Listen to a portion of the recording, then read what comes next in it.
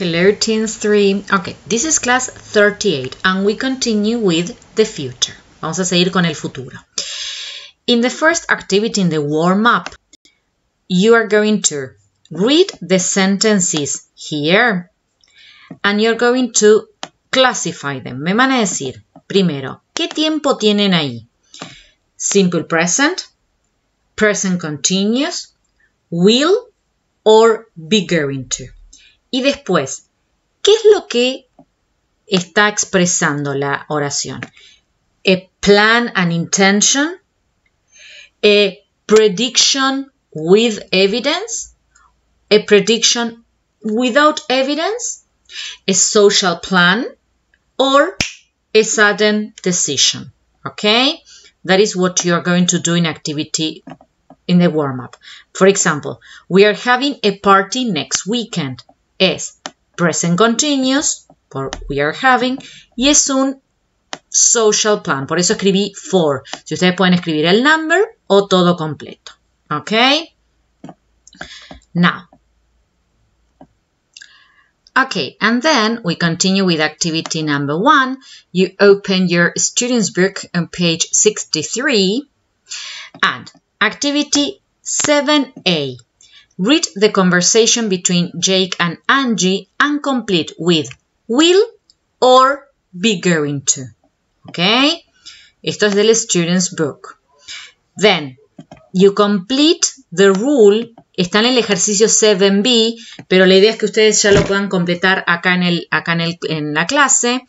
Tienen que completar la regla, ya sea con will or be going to. Si yo tengo for decisions and plans made before the moment of speaking. Ya tengo un plan in my mind, en mi mente, before speaking to you, antes de hablar con ustedes.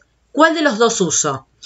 And for predictions without evidence, sudden decision, offers, ofertas que yo lo hago en el momento que estoy hablando con ustedes, o a promise, algo que prometo en el momento que estoy hablando, ¿cuál uso? Then, in activity 7C, you choose the correct option. También está en el libro. In activity 7D, you complete the email. Ok, todo está en el student's book. Then, in activity 2, vamos a hacer algo nuevo. It's a listening comprehension. You are going to click on this link. Ok, van a hacer el clic y los va a llevar a esta página. Yes, it's going to take you to this site. Van a tener, dice, listen to Rebecca and Adam planning a night together.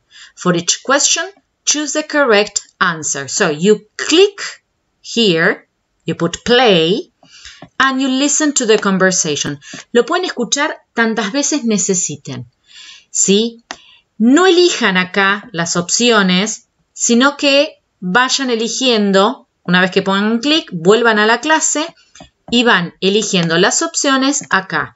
Si quieren, you can write on a paper, ¿sí? En a piece of paper, pueden escribir la opción que, quieran, eh, que necesiten eh, después marcar acá, ¿sí? Pueden ir leyendo de la página. Y si quieren elegir Wednesday, lo escriben, ¿sí? Y después lo eligen acá en la clase. O sea, la, tiene que estar resaltado acá, ¿sí? La opción correcta. You have five sentences. And then you're going to complete the conversation with the verbs in simple present, present continuous or will. Es el mismo, es el mismo diálogo, ¿ok? Entonces, lo pueden completar y pueden escuchar de vuelta para ver si lo están completando bien. ¿Ok? Yes. Tenemos todos esos gaps, esos espacios para completar. And that's all, people. Yes. If you have a question, ask through Google Classroom. Bye bye, Teens 3.